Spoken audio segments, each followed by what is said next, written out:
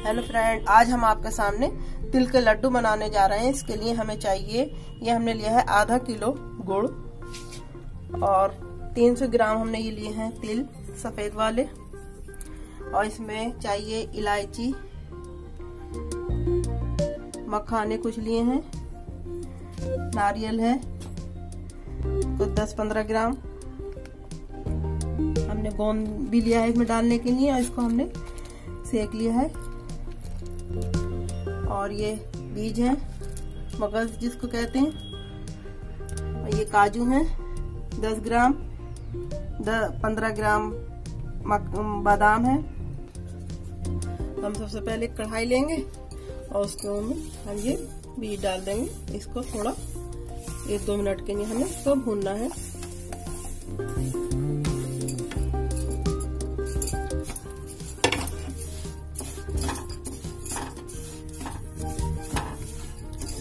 ज़्यादा तेज आँच पे ना भूने क्योंकि ये जल जाएँगे तो कड़वे हो जाएँगे। तो थोड़ा सा ही इसको भूनना है। इस तरीके से इसको चलाते रहें और जब भी सही रहेंगे, नहीं तो ये जल जाएँगे नीचे से।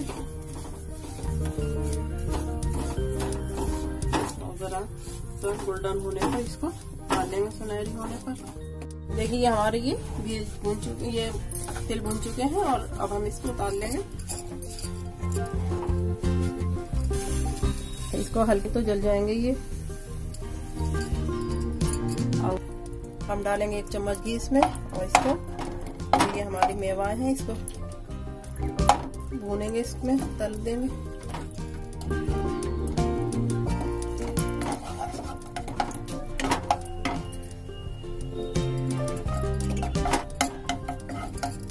अब हम इसमें मखाने डाल देंगे।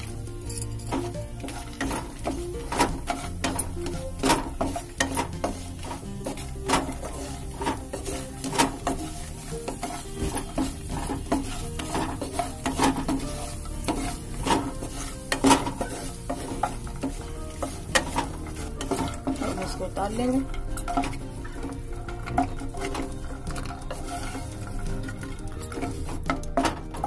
ये हमने घी इसमें लिया है हाँ ये असली घी हमने। इसमें ही हमने ये गोल भून लेंगे।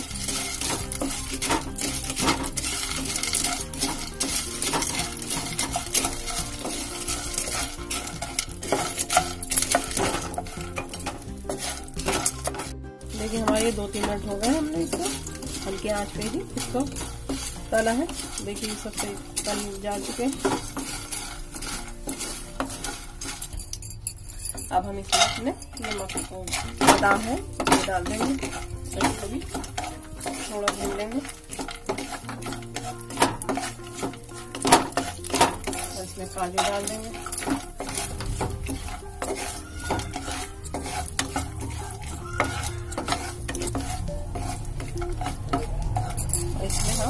ये बीज डाल देंगे। और इसको अच्छी तरीके से? एक दो मिनट के बस जल्दी ही भुन जाते हैं। ये हमारे ये बीज भी भुन चुके हैं। अब हम चूल्हा कर देंगे बंद। और इसके बाद हम इन सबको मिक्सी में दर दरा पीस लेंगे सबको। तो ये खाने में बहुत ही टेस्टी होते हैं हेल्थी होते हैं। सर्दियों में तो बच्चों को, बड़ों को सबको बहुत अच्छे लगते हैं इसको। और आप भी खाइए, सबको खिलाइए। देखिए मखाने और हमने इसमें डालकर हल्का दरदरा सा पीस लेंगे, बहुत ही ज़्यादा बारीक नहीं। देखिए हमने ये दरदरा पीस लिया है, इसको ज़्यादा बारीक नहीं किया है और हम इसको निकाल लिया देखिए इस तरीके से हमने सभी को, ये ड्राई फ्रूट जितने भी हैं, हमने सबको पीस लिया है। हल्का दरा दरा अब हम इसके बाद एक कढ़ाई रखते हैं।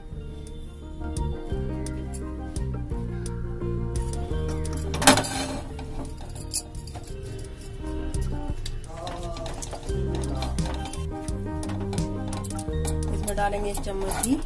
इसमें घी भी हम आपको बताना भूल गए हैं। एक चम्मच हमने इसमें घी डाल दिया है।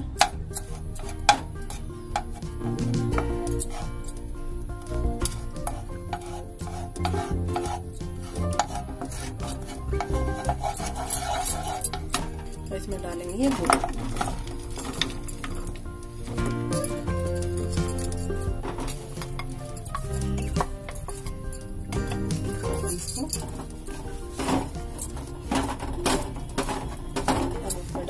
चलाएँगे जब तक ये पिघल ना जाए। इसको चलाते रहेंगे।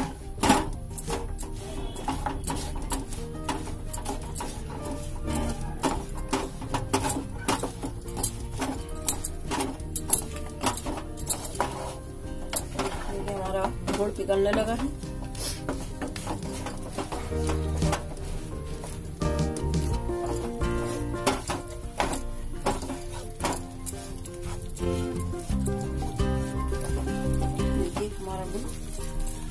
बिगड़ चुका है। अभी और बिगड़ना बाकी है इसका।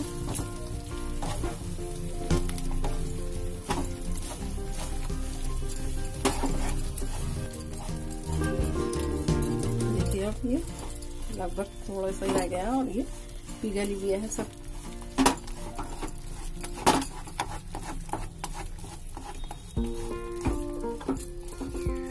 इसको चलाते रहें, नहीं तो ये जल जाएगा और हल्की आँच पे। इसको। हल्की आँच पे बनाए इसको। देखिए, ये हमारा पूरा गुड़ पिघल चुका है।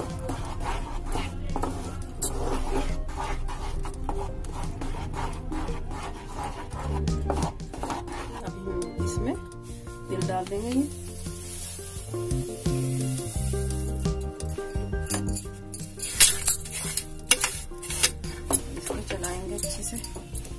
और इसी में ये सारे ड्राई फ्रूट मिला देंगे।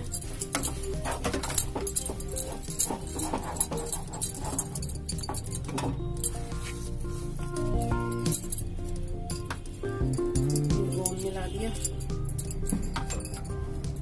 ये नारियल भी मिला दिया इसमें।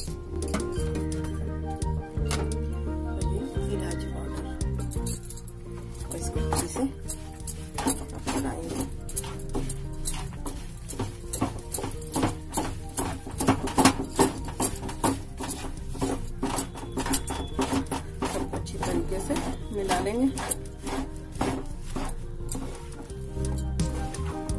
देखिए कितनी अच्छी खुशबू आ रही है इसमें से। बहुत ही अच्छे बने हैं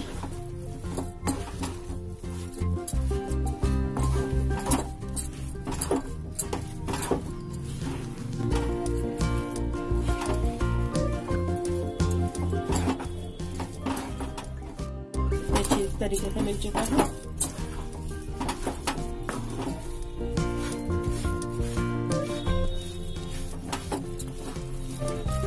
हमारा ये बनकर तैयार हो गया। इसको ठंडा होने पर अब हम इसके लड्डू बनाएँगे। थोड़ा हल्का ठंडा हुआ है तो इसको हम लड्डू बनाएँगे इस तरीके से। लड्डू आप अपने तरीके से बना लें, चाहे छोटे। देखिए, हमने हाथ पर घी लगाया है, और ये इस तरीके से आप लड्डू बना लें। लड्डू आप क्या छोटे या बड़े, जिस तरीके से भी बना सकते हैं, इस तरीके से बनाइए।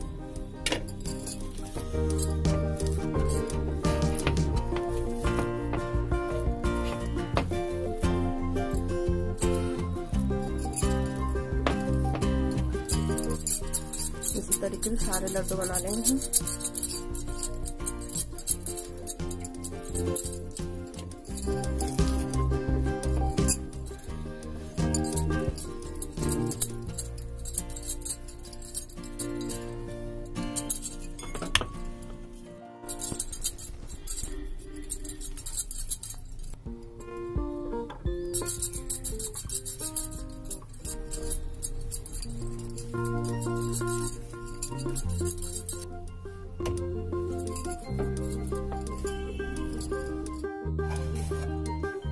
देखिए, हमारे इस तरीके से बनाए ये तिल के लड्डू और बहुत ही ये पौष्टिक हैं, स्वादिष्ट बने हुए हैं, बहुत ही ताकतवर होते हैं ये हर बच्चे, बूढ़े सभी के लिए और लेडीज़ के लिए तो बहुत ही ताकतवर हैं। आप इसी तरह आप बनाए ये लड्डू और सर्दियों में तो बहुत ही अच्छे लगते हैं ये। और आप इसको हमारी आपका ये रेसिपी पसंद आई हो तो इसको लाइक करें शेयर करें और सब्सक्राइब करना ना भूलें।